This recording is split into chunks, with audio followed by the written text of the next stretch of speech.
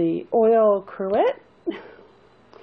And as you can see, it has this lovely little pipette that runs up the center.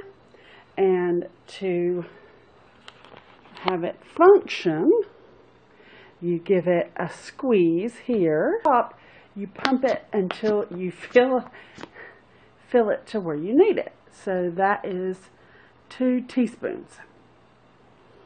And to use this, you simply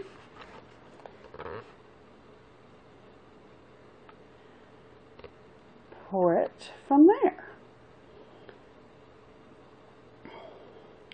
And anything that's in the bottom is not going to be effective unless you pump it into this chamber.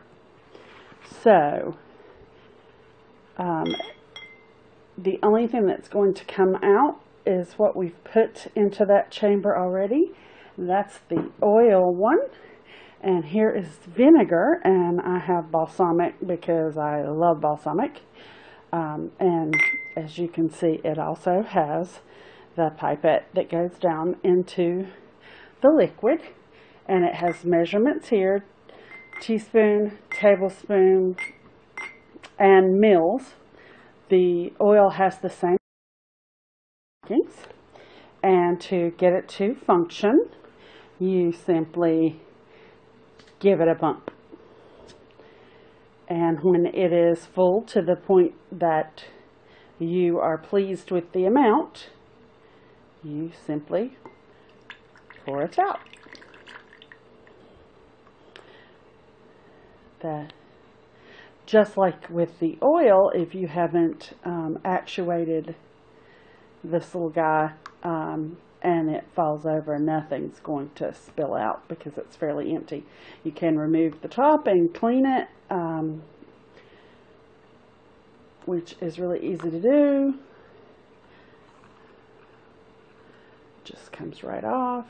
Um, and like I said, these are the Bloomware Cruet set and I just really like them. I've been looking for something like this for a while.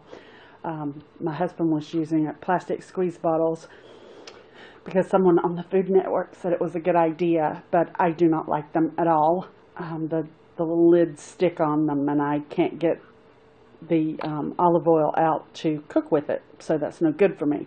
And with this, I can just easily give it a wee little squeeze. And when I do, you know, there it goes. Ooh. Um, and then I would be able to use all I want. But it's airtight, so what's in the bottom is not exposed to the air until you pump it up to the top. And that's